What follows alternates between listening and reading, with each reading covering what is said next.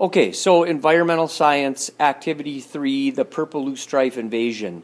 You're going to come up here and get 30 beans for all the natives. Sedges are black turtle beans. Pinto beans, Joe Pye weed. Great northern beans, cattails. Black eyed peas, blue flag iris. Red kidney beans, blue lobelia. And after your first trial, you'll re- replace with small red beans, which are purple loosestrife. So what you're going to do is get 30 of the five natives, which will equal exactly 150 beans. Put them in a cup, bring them to your table. Take a uh, container of a lot of purple loosestrife because you're going to have to replace um, 30 purple loosestrife for every trial after trial one.